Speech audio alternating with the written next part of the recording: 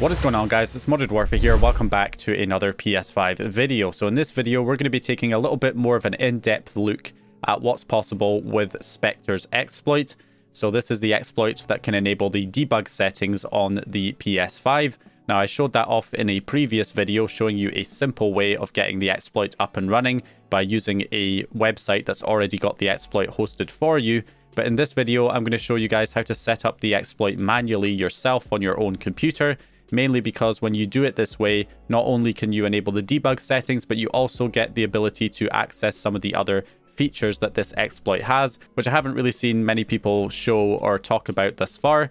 So of course, that's the ability to dump your kernel data as well as sending RPC commands to the PS5. So we're going to take a look at that here in this video. So first of all, we're going to head on to the settings. We're going to go down to System, System Software, and System Software Update and Settings. You want to make sure download update files automatically and install update files automatically are both unchecked. You also want to then head to console information and make sure you're on the right firmware. So system software version, you've got 21.02-04.03. So that 04.03 is firmware 4.03. So you can follow this on 4.03 or 4.50 or 4.51. So all three of those firmwares are apparently supported by this exploit. If you're on a higher firmware, you're not going to be able to do this. And if you're on a lower firmware, then you can update to 4.03 in order to do this. But I wouldn't recommend it at this stage. You're better off waiting on a lower firmware until a full jailbreak comes out. You also want to note down your IPv4 address as well which is also something that's useful to have. Another thing, if we head back into system and we go down to web browser, you want to make sure allow cookies and enable JavaScript are enabled and then you should be good to go. So, so on the computer, you're going to need to download the latest version of the exploit from Spectre from the GitHub page. Again, all the links will be in the description. Just go to the code and download it as a zip file. You can see that 4.51 firmware support has been added. So go ahead and download that. And then you also want to download the latest version of Python, Python version 3. So make sure you download that as well. So extract the zip file for the exploit to your desktop and you'll have this folder right here. And obviously install Python version 3. You can also install it from the Microsoft Store. So then we're going to go into this folder here because we have a bunch of Python scripts. So what we want to do here is go up to the file path and copy the file path. And then we're just going to go ahead and open up a PowerShell window right here and run it as administrator. So right click on PowerShell and run as administrator. So from here, we're just going to type in cd and then paste in the file path and press enter. And then that will take us to the location of these Python scripts. So the script you want to run is the host.py script that will run the actual exploit. So we're just going to type in Python and then we're going to type in host.py and press enter. And you can see there it's running the server. So we've got that set up successfully. So the next thing we need to do is set up fake DNS. Now the reason we need to do this is that we need to redirect the user guide. So whenever we go to the user guide, it's trying to access manuals.playstation.net and we need to redirect that DNS address to the IP address of our computer so that when we go to the user guide on the PS5, it will take us to the exploit host instead. So in order to do that, we're setting up here fake DNS. So once again, we're going to open up a PowerShell window as administrator. And once again, we're just going to go to the location of our exploit host and press enter, just like we did before. And this time we're going to set up fake DNS. So to set up fake DNS, we're going to create a notepad document here. So open up notepad and we're going to type in uppercase A and then space and then manuals.playstation.net. So manuals.playstation.net and then another space and then the IP address of your computer, which you can get by opening up the command prompt and typing in ipconfig and you can get your IP address of your computer right there. You can, of course, also get it by going to your network settings, by going to go to settings, and then from your network settings, you can go to your actual Wi-Fi network or wired network that you're connected to. And if you scroll down, you'll find the IPv4 address of your computer right there as well. And you can just copy it. So we're going to paste that IP address here. So we have a space manuals.playstation.net space your IP address of your computer. And then we're just going to save that as, and of course we want to save it to our exploit host folder. And we're going to call it dns.conf and change the save as type to all files. So dns.config, dns.conf, and then save, and we are good to go. So next, we're just going to go back to the exploit host to get the command that we need to run for fake DNS, which is this one right here. So we're going to copy this command, python fake dns.py-c dns.config, and we're just going to paste that into this PowerShell window right here and press enter. You can see there parsed one rule from dns.config, so it's now running the fake DNS server. Okay, so now we're basically all set up to load the actual exploit itself. So, okay, we should be all good now. So all we need to do is switch back over to the PS5 and get set up on the PS5.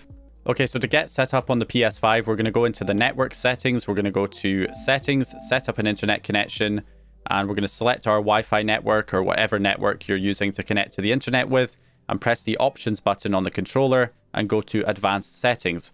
From there, we're going to go down to DNS settings and change it to a manual DNS. And then for the primary IP address, you want to set that DNS address to the IP address of your computer. So in my case, that's 192.168.1.39. So just enter the IP address of your computer as the primary DNS and click OK, and then let it try and connect to the internet. Now, when I do this, you should start seeing on fake DNS all these DNS requests popping up here. So that means that you do have things set up correctly. You now have everything set up to host the exploit manually. So now you can actually configure the exploit to run it exactly the way that you want to run it. So in my case, let's try the RPC server first of all. So if we switch back over here to the computer, to set up the RPC server, there's a couple of things that you need to do.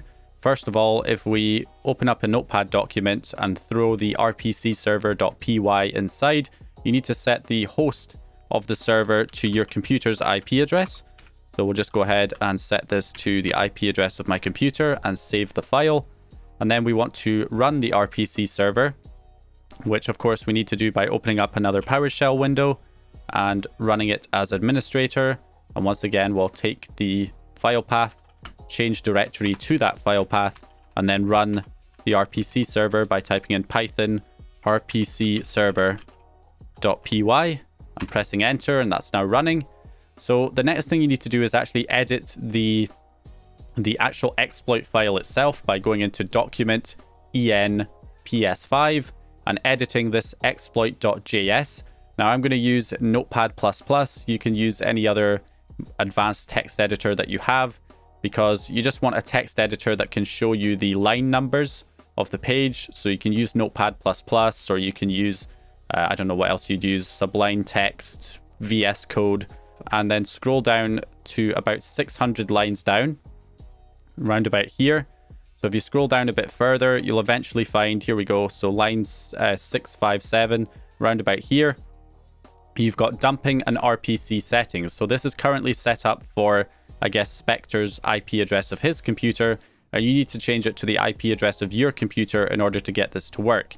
So the way that the IP address is formatted is that it's in hexadecimal format and it's in reverse order uh, because it's a little endian. So x86 stores all the bytes in reverse order. So you need to store your IP address in reverse order as well. So basically, in my case, that's going to be 0x and then we've got 192. So my IP address is 192.168.1.39, which in hex is going to be C0 is 192, and then A8 is 168, and then 01 is 1, obviously. And then 39, I don't actually know what 39 is in hex. But if I open up a calculator and I set it to programmer mode, I can type in 39 in decimal, which is 27 in hex. So we'll go ahead and put 27 in. So that is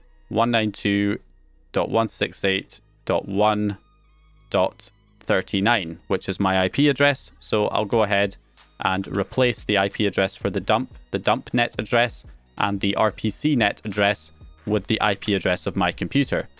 And I'll rename this to 192.168.1.39 because I have changed the IP address to my IP. So save the exploit once you've added your IP address in there and we should be ready to go. We might want to reload the server as well, the HTTP server, So control C to terminate it and then run the command again, python host.py to run the server. And we are good to go. So now we can switch back over here to the PS5 and try and run the exploit. So we're going to go to the user guide and load the user guide up here. And we've got the security certificate. We'll say yes. And okay, so we get error 404 file not found. Now, if you live in the US and you're connecting from a US IP address, you're not going to get this issue. Probably the same for Canada as well, potentially. However, I'm going to get this issue, so I'm going to switch back over to the computer. The reason this happens is because the user guide's looking for a different location to load the user guide than what's set up here. So set up here, we've got document, en, ps5, and then the exploit. So if you live in the US, it will be looking for that link. However, because I live in the UK, it's not looking for this EN folder. It's actually looking for a GB folder for Great Britain. So I have to change it to GB. If you live in, say, Spain, it might be looking for ES. Uh, you might have to change the folder to ES instead. So yeah, depending on, depending on what region you're connecting from, you may have to change this folder to your language uh, region. So in my case, it's GB for Great Britain. So if we switch back over here to the PS5 now, and try and load the page again, reload, you can see it's now loading successfully. So yeah, that's a minor thing that you might have to change in order to get it to load. So not enough free system memory. We'll just click OK, let it reload again. And there we go, ready, click OK, and it'll start trying to run the exploit. And it failed, so I'll have to reboot and try again. Alright guys, so as you can see here, if we scroll down, it says connecting to RPC server in 10 seconds. If we switch back over here to the computer, you can see that if we head to our RPC server, boom, you can see we do have a response. We've got connection from uh, the PS5's IP address, and we do, and and the port number, of course, and it says received kernel.database. So there we go. We do have a successful connection received. So that is all set up correctly. So, so to send an RPC command, there is an example here on the exploit on GitHub. So you can see here, we've got a read command. So we've got R and then a memory address. So we can read a memory address. We'll give that a try. Make sure we're still up and running here, that we've not crashed. So we'll go ahead and paste that command in and hit enter. So you can see here, it has actually managed to read that memory address. We have the results from the memory read printed out here into the command line. Obviously, this is a very rudimentary setup right now, but you know, I think Spectre's planning on improving this according to the GitHub post. So if we have a look, we can also write as well. You can write data into a memory address. So we'll give this write command a try. But there we go. So we've got write command. Then there's the address that we're writing the values to. And we have 0x1337. So we'll go ahead and try and write that uh, right here. So let's go ahead and press enter. And there we go, wrote keyword. So we successfully wrote that data into that memory address right there. So I guess we could try and read it. Oh, I think actually we got a crash there after writing that. Yep, okay, console crashed. So I guess we're not going to be able to read that memory address to see the data actually returned back that we changed. But you get the idea. You can actually write, you can read data from a memory address and you can write data into a memory address here using the RPC server. So hopefully this can be improved and be made a little bit more stable in future. So the next thing I want to show you guys is the dump server. So let's go ahead and get set up to use that as well. So we'll go ahead and terminate the RPC server now. Console's crashed anyway, so we can clear that and set up the dump server. So setting up the dump server is a little bit different here. What we're going to have to do is actually edit the exploit itself. So firstly, we're going to edit this again. I'll use Notepad++ just because it's easier. So we're going to scroll down to the bottom and we can see that the dump code is actually commented out. So what we need to do is uncomment out the dump code. So get rid of these forward slashes underneath the dump code text right here. And then that enables the dump code. And then we also need to get rid of the RPC code. So everything after this connect RPC and dump base data address, we're just going to comment out that entire section. So I'm just going to comment out that whole section there. So that's all gone. So now it's going to run the dump code instead of the RPC code. So we'll save that and we should be pretty much good to go. We've already added the IP address of the computer into the dump code address in the exploit host already, so we don't need to do that. The only thing we need to do now is go to the dump server and edit this. So I'll just use Notepad for this. And we want to edit the host IP address again, just like we did with the RPC server, and set that to our computer's IP address and save it. And we should be all set up and ready to go. So now all we need to do is run the dump server. So we'll do python dump server .py and that's now running the dump servers. Okay, so as you can see here, we are good. Even though it says connecting to RPC server, that's fine. If we switch back, if we switch back over here, so you can see it's now transferring the data to the computer and we just have to wait for this to complete. It'll stop once it's finished and it'll say it timed out and then we'll have our dumped memory. So what this is doing is dumping the kernel data at the moment. That's what it's set up to dump by default. But generally, this is just a way of dumping a large amount of memory to the computer rather than using the RPC commands, which, you know, are quite unstable and they can only write a certain amount of data or read a certain amount of data. Whereas if you want to read a large amount of data from the console, then you can use the dump code to dump much larger data sets. So that's essentially what this is useful for. So I skipped ahead here to the point where it's finished. So you can see it says it timed out.